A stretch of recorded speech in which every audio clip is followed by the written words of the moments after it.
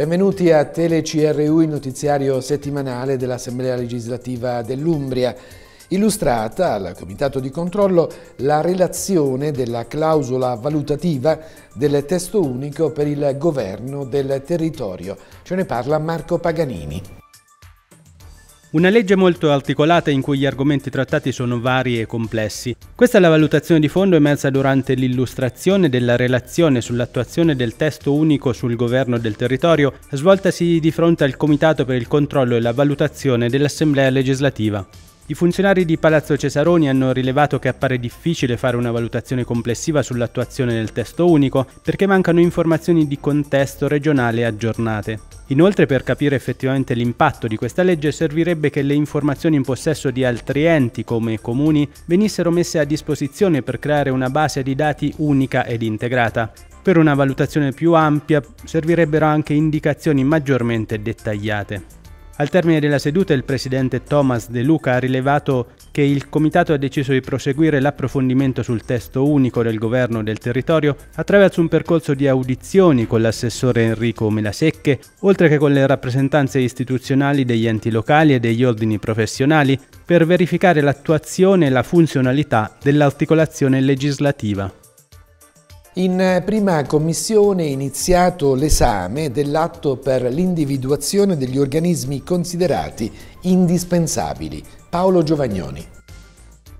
La prima commissione dell'Assemblea legislativa dell'Umbria, presieduta da Daniele Nicchi, ha iniziato l'esame dell'atto amministrativo proposto dalla Giunta per l'individuazione degli organismi collegiali considerati indispensabili e di quelli considerati non indispensabili, operanti a livello tecnico-amministrativo e consultivo, istituiti con legge o regolamento regionale o con atto amministrativo approvato dall'Assemblea. Al termine della seduta, il presidente Nicchi ha spiegato che su oltre 60 60 organismi si è deciso di chiedere approfondimenti su una quindicina. Si tratta di comitati, commissioni, osservatori, consulte, conferenze o tavoli che non si riuniscono o non sono rinnovate da anni oppure che non sono mai stati attivati o costituiti.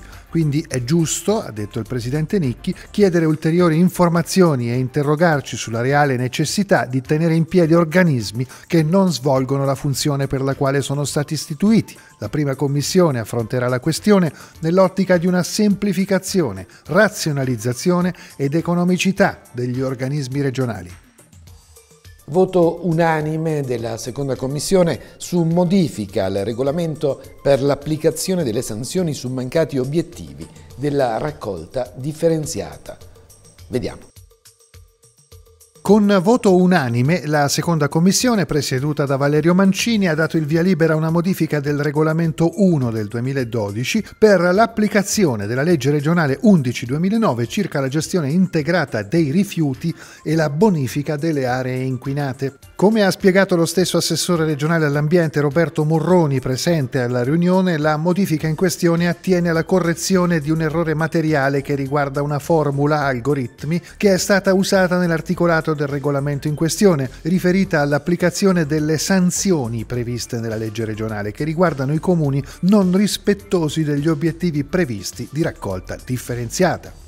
La vicenda attiene a contenziosi che risalgono fino al 2017, poiché successivamente è intervenuta una modifica normativa per cui non è stato più applicato il criterio sanzionatorio in questione, in quanto successivamente all'interno della tariffa è stata compresa un'addizionale relativa al contributo per il conferimento in discarica, la cosiddetta ecotassa, nel caso in cui non vengano rispettati gli obiettivi, che sono nazionali, della raccolta differenziata. Il periodo sanzionatorio in questione va dal 2014 al 2017 2017, dalle verifiche effettuate, le sanzioni relative al 2014 risultano essere ridotte rispetto al calcolo precedente. In sostanza, con questa modifica si rendono coerenti gli algoritmi con il testo regolamentare per consentire la piena applicazione e la corretta riscossione delle sanzioni.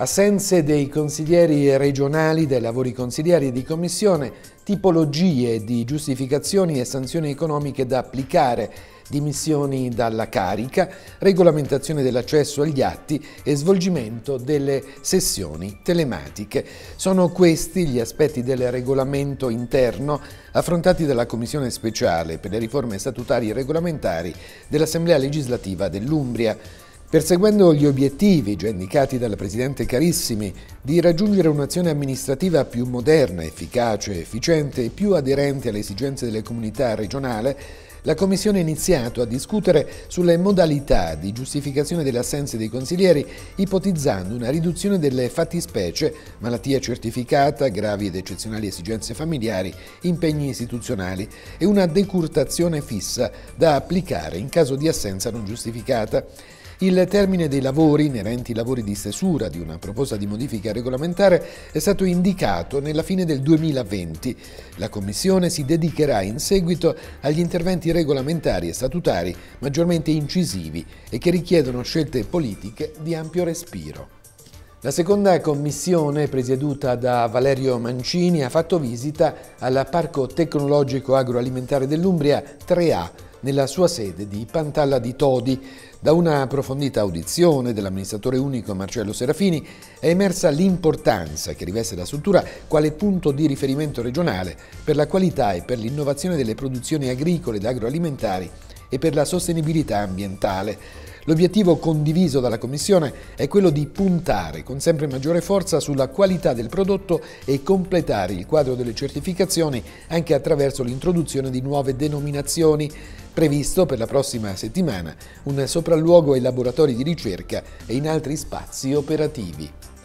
Il consigliere regionale Paola Fioroni della Lega, vicepresidente dell'Assemblea legislativa, annuncia la presentazione di una mozione firmata insieme alla capogruppo del partito Stefano Pastorelli affinché la Regione tenda ancor più la mano ai soggetti sovraindebitati che sono in difficoltà economica. Fioroni e Pastorelli chiedono alla Giunta di valutare l'opportunità di costituire un organismo di composizione delle crisi da sovraindebitamento all'interno dell'amministrazione regionale.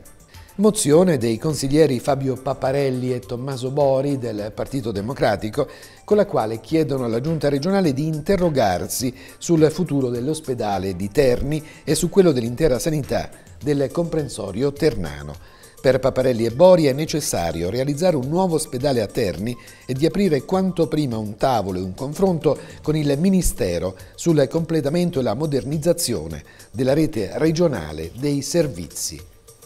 Risanare e valorizzare il lago Trasimeno è quanto chiedono attraverso una mozione bipartisan i consiglieri Marco Squarta, Fratelli d'Italia, Presidente dell'Assemblea legislativa, Eugenio Rondini della Lega e Simona Meloni del Partito Democratico, Vicepresidente dell'Assemblea legislativa. Squarta in una nota ha rimarcato il fatto che è la prima volta che maggioranza e opposizione presentano atti bipartisan per risolvere i problemi del lago. Thomas De Luca, capogruppo del Movimento 5 Stelle, ha presentato una mozione che mira a introdurre il medico scolastico nelle scuole dell'Umbria. De Luca spiega che quella a cui si pensa è una figura che all'interno di ogni istituto comprensivo potrebbe risultare utile e determinante anche nell'ottica di una efficace attività di diagnosi precoci e prevenzione attiva. Il consigliere regionale Fabio Paparelli del Partito Democratico annuncia un'interrogazione per conoscere le tempistiche riguardanti la fine dei lavori per la sistemazione e l'ampliamento del reparto di malattie infettive dell'ospedale di Terni e per sapere se le notizie di stampa relative al fermo e alla riprogettazione dei lavori di oncologia corrispondono al vero, quindi per conoscere le tempistiche per l'avvio e la conclusione dell'ampliamento e dell'adeguamento degli spazi dedicati all'oncoematologia ed oncologia. Interrogazione del consigliere Michele Bettarelli del Partito Democratico alla Giunta per chiedere quali sono le motivazioni per cui la Presidente Tesei e l'assessore Coletto non si sono resi disponibili alle reiterate richieste di confronto delle sigle sindacali in merito alle problematiche emerse presso l'Istituto Prosperius di Umbertide. Simona Meloni, vicepresidente dell'Assemblea legislativa del Partito Democratico, ha depositato una proposta di legge che mira ad istituire il servizio di psicologia scolastica all'interno della rete dei servizi socioassistenziali e sociosanitari regionali. Una iniziativa che punta anche a rafforzare il rapporto di collaborazione tra scuola e famiglia, aiutando tutti ad affrontare e risolvere problematiche come la dispersione scolastica, i disturbi dell'apprendimento, le dipendenze e il bullismo.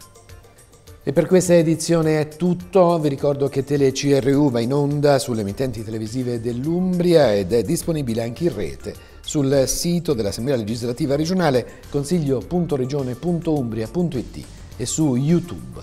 Grazie per averci seguito, arrivederci, alla prossima settimana.